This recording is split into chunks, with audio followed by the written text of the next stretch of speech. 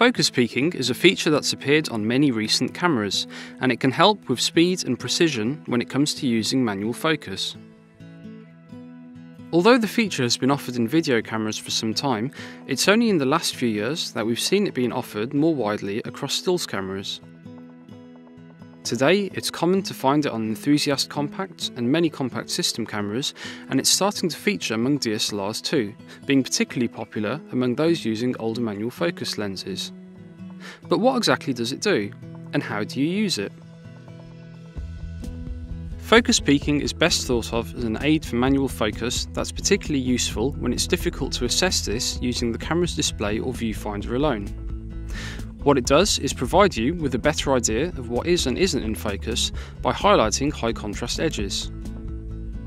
To use it, switch your camera to manual focus and find the peaking option in the menu system.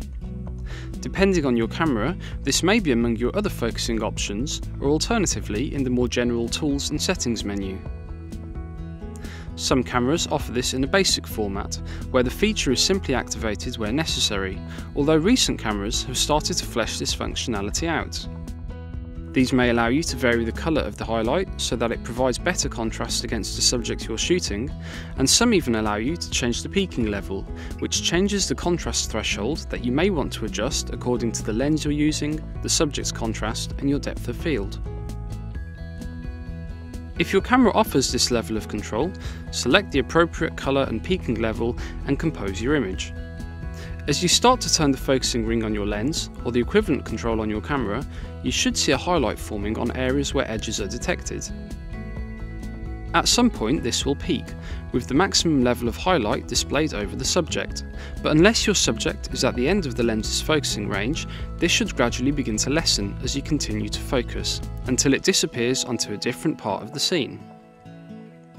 For precision, you should be able to use this feature in conjunction with the magnification option, so that you can see exactly where the highlights cover the subject. Focus peaking can be useful in many scenes where you might want to use manual focus, such as scenes where autofocus systems typically struggle, perhaps natural, low contrast subjects whose details may not be very well defined.